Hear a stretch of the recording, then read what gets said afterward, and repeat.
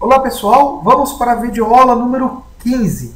Nessa videoaula eu vou falar sobre caminho crítico e margem de atraso permitida e margem de atraso total, tá certo? Aqui eu incluí a coluna margem de atraso permitida e margem de atraso total, tá certo? Vamos falar sobre caminho crítico. O que é caminho crítico?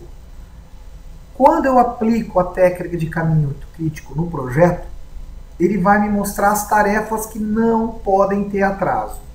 Que se tiver atraso, vai impactar na data final do meu projeto. Tá certo? São tarefas que eu tenho que ter uma atenção maior, porque se elas atrasarem, aumenta o meu tempo final do projeto. Altera a minha data final do projeto. Tá certo? Como que eu demonstro meu caminho crítico aqui no Project? Eu posso ver duas maneiras. Opa, vamos voltar para a aba tarefa. Eu posso vir aqui direto em gráfico de Gantt para Gantt de controle. O Gantt de controle ele já me mostra o caminho crítico, já me coloca as porcentagens das tarefas, tá certo? Ele já me aplica algumas coisas a mais do que o gráfico de, o gráfico de Gantt tá certo? E o caminho crítico, pessoal, ele deixa suas tarefas em vermelho. Então, essas tarefas que estão em vermelho no seu gráfico de Gantt, se tiver algum atraso, vai impactar na, na data final do meu projeto. Ele vai ultrapassar a data final do meu projeto.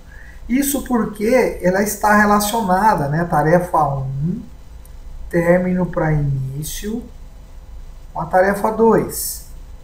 Se eu atrasar 3 dias aqui, vai empurrar essa tarefa 3 dias para frente, vai empurrar essa tarefa 3 dias para frente e vai me empurrar tudo que tiver relacionado término para início, vai atrapalhar e ultrapassar minha data limite do projeto, tá certo? Vamos voltar para o gráfico de Gantt, então depois de eu ter aplicado, né? Opa, aqui, gráfico de Gantt. Como eu faço para visualizar caminho crítico aqui? Vou vir na aba Formato e aqui em cima eu marco tarefas críticas. Então, olha só. O que ficou vermelho no meu gráfico de Gantt são tarefas que não podem ter atraso. E aí você faz todo um plano de risco para essas tarefas. Tá certo?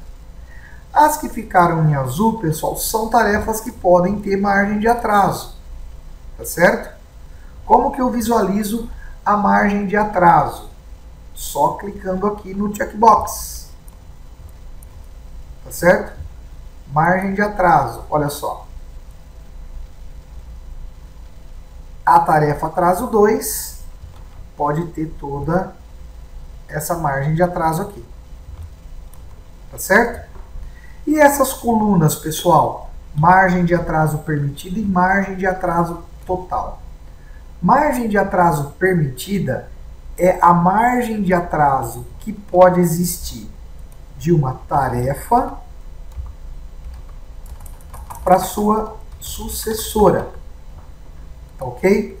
Neste caso, por exemplo, veio zero aqui. Por que, que veio zero?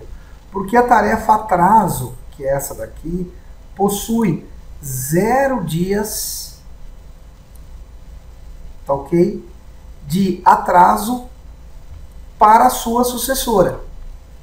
Tá ok? Por isso que veio zero. Tá ok?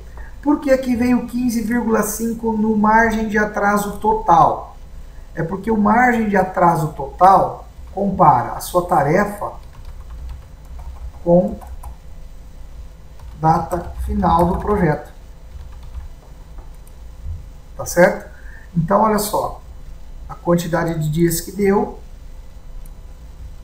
15,5. Tá certo? Essa é a diferença dessas duas colunas. Margem de atraso permitida e margem de atraso total. Tá ok? Tarefas atrasadas, eu vou explicar um case que eu vou colocar um indicador para mostrar essas tarefas atrasadas. Certo? Não vou entrar em detalhe agora, mas eu volto para estar tá mostrando isso. Tá certo? Um outro detalhe aqui, pessoal, relacionado a tarefas críticas de configuração, se você for aqui em arquivo, opções, avançado, na última opção aqui, ó, tarefas, opa, tarefas críticas são críticas quando a margem de atraso é menor ou igual a zero. Então, quando está zero, uma margem né, é de atraso, ela é crítica, mas eu posso alterar isso para um valor que eu queira, tá certo? Se eu trocar uh, a margem de atraso deu 15 dias aqui, né? Se eu vir em opções, avançar e trocar aqui para 17, olha só o efeito que vai fazer. Tarefas são críticas quando a margem de atraso é menor ou igual a 17 dias. Ó. Virou tarefa crítica.